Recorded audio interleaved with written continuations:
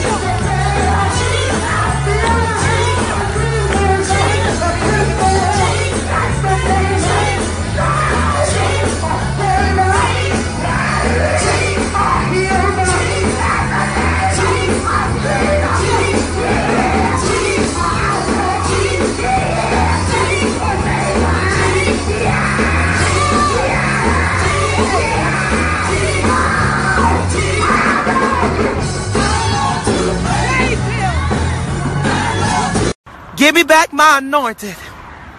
Give me back my peace. And give me back my joy. Give me back my happiness. Give me back my peace, oh God. And give me back my joy. And give me back my peace. Oh, hallelujah. There's a spirit that's trying to come on me and trying to take my joy and trying to take my anointed. Oh, hallelujah. But I went to God in prayer and I said, Speak, oh Lord. We need a word from the Lord. A word from you, Lord.